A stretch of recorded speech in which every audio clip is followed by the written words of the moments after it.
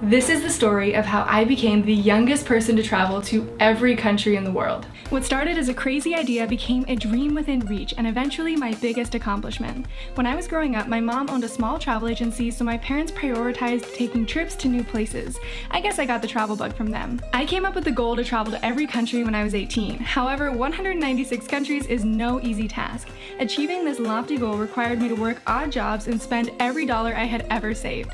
I also had to learn how to travel frugally, spending most nights in hostels with the occasional bedbug.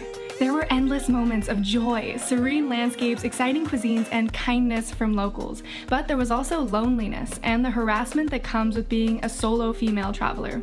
After a few crazy years, I finally broke the world record and completed my dream by stepping foot in Mozambique, my final country. This adventure redefined the limits of what I believed was possible, and now my goal is to assist you on your travels.